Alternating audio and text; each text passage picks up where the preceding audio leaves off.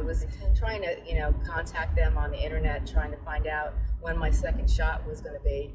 And I didn't get any messages, and it was really hard to contact them. And then all of a sudden, I opened up my email, and it was the night before, actually yesterday, and they had sent me an email with my time and where to go and uh, they gave me all my information. But I didn't really have much time to prepare, and they do suggest that you don't cancel the uh, shot because they're very hard to get. So it's Valentine's Day right now, and I'm spending my Valentine's going to get the COVID uh, vaccine shot. So I'm headed over there now, and we'll see what happens, and I'll keep you posted as time goes on, and let you know um, how I feel and what's going on and any side effects that I incur. Hey, it's Stacey, and today I just wanted to go over my uh, COVID-19 shot. So I went on Valentine's Day because they contacted me the day before, like I was telling you, and they gave me a um, notice in my email telling me that uh, the next day my shot was, and they gave me the time, and they suggested that I don't cancel it because it's very hard to get uh, another appointment. So I went and I drove down there with my husband on Valentine's Day and I got the shot. And this was my second COVID shot. So I was a little worried because I heard a lot of stuff on YouTube and I heard people saying that they had a lot of symptoms with the second shot. So I was a little uh, nervous about getting it. I got the Pfizer shot, and the first time I got the shot, I really didn't have that many symptoms. Uh, the first time I got the shot, I felt a little bit of soreness around my arm uh, where they gave me the shot, and I felt a little fatigue. And the next day, my arm felt a little bit stiff. So when I moved it around, it felt a little stiff. And the only time it hurt is when I pressed against that area where they gave me the shot.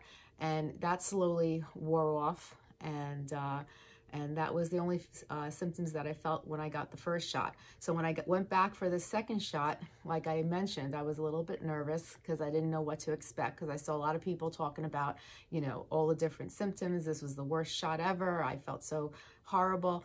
But for me, um, I got very similar symptoms that I did with the first shot. I just felt a little fatigue and my eyes felt a little heavy and that was it. And I took a little nap when I came home and uh, the next day, uh, I felt a little fatigue again. And after the second day, uh, all the all the uh, tiredness wore off, and I didn't even feel like I got the shot. So for me, I didn't feel many um, side effects at all.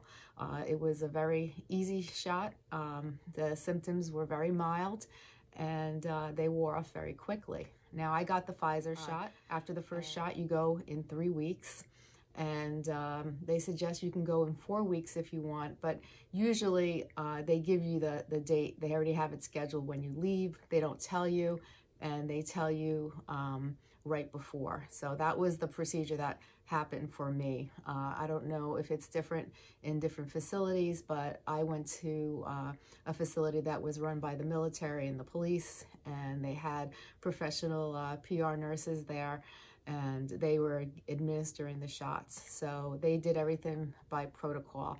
So uh, for me, I had a very good experience. I didn't have very many side effects and uh, it wasn't bad at all. So if you have any questions, if you uh, want to ask me anything, I'd be happy to answer it in the uh, comment box if you uh, leave the question. And, um, you know, my husband's going um, in, in, probably in, in about couple weeks and he's actually getting the Moderna shot. And um, so we'll see if there's a difference between the Moderna and the Pfizer shot. And um, my parents are actually going very soon. They're going in about a week.